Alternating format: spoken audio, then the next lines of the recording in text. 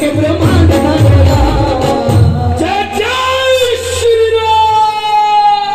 हनुमान जी। हाँ। हनुमान जी कहाँ गई वो शक्ति विलक्षण? हनुमान जी कहाँ गई वो शक्ति विलक्षण? कुछ याद कर